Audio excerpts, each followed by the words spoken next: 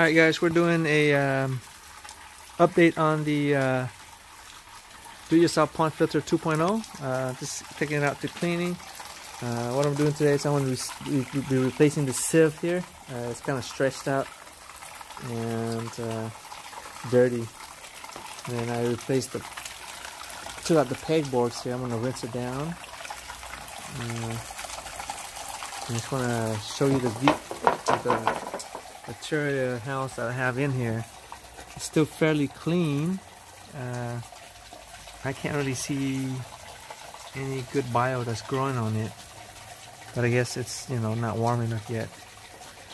So what I'm gonna do is I'm gonna go ahead and replace that uh, sieve screen there. I got like a bunch of it. It's cheap like eight bucks. Uh, yeah. The pegboard's doing good. The sieve is keeping the bio clean Alright guys, we turned back on the sieve here. So that's new uh, new sieve screen on there. It's gonna catch all the debris and the detritus. So it's gonna take a long time before it clogs. Alright, Alright let it do its thing.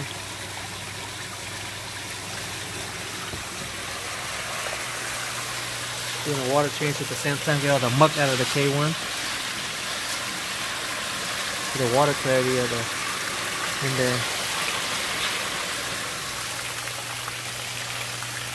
Alright guys, so that's the update on the uh, do-yourself uh, pond filtration 2.0. Everything seems good. See any challenges so far? Sieve is catching all that crap.